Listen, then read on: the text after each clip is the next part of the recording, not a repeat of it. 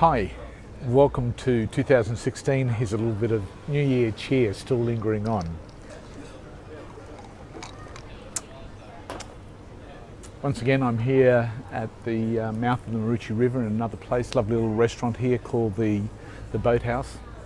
And uh, we're just outside that under this beautiful um, tree. I'm not quite sure what type it is, but it's got an amazing um, branches and, and uh, leaves. Really, really lovely.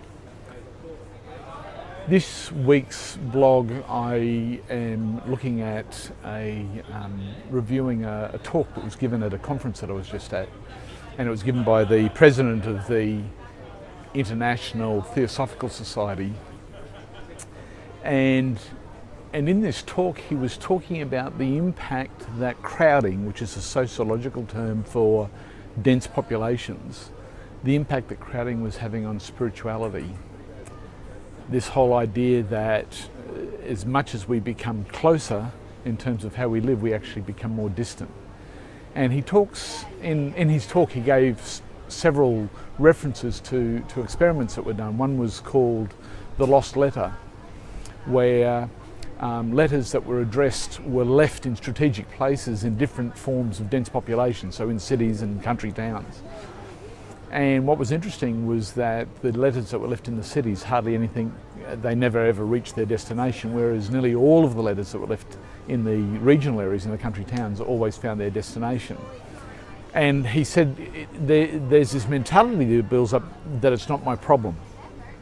And of course, that's the evidence of the disease, the spiritual disease, because spiritual is when we see that other people's needs and other people's um, um, concerns are our problem. In other words, we have a obligation by virtue of compassion and empathy and awareness to be able to make ourselves available while at the same time being uh, loving towards ourselves, we make ourselves available for other people. So he gives some interesting statistics, and, and I share some of those during the course of this blog. And of course, at the end, what we end up doing, uh, what I end up doing in this this particular blog is is look at what he sees as the cure for this, and and in fact, what he talks about is the whole notion that we have to become mindful or aware of our thoughts. So these are the thoughts that we have for ourselves. These are the thoughts in terms of how our thoughts are impressed by media, how our thoughts are reflected in the pool of thinking, in other words, the people that we have in our lives, the communities that we live in.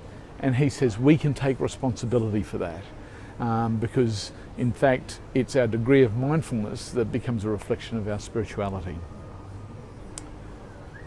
I hope you find this of interest. I enjoyed it. I, I really found it refreshing to see somebody taking um, spirituality from this perspective.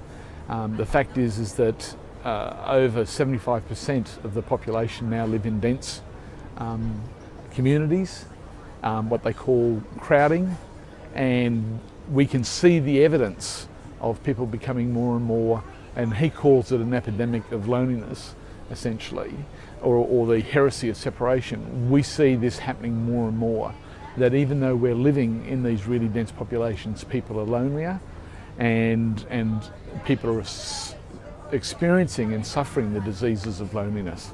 Anyway, I hope if you find it interesting. We've got some interesting um, blogs that will be coming up over the next few weeks. Next week, I want to have a look at the supermarket of spirituality. This whole idea that we now have this plethora of stuff out there that we can that we can like a supermarket go in and go I'll have this I'll have this and I'll have this but not all of it's good for us and I want to spend some time having a look at that uh, next time. Anyway, welcome to this new series of blogs for 2016 and I'll speak to you next time. Bye.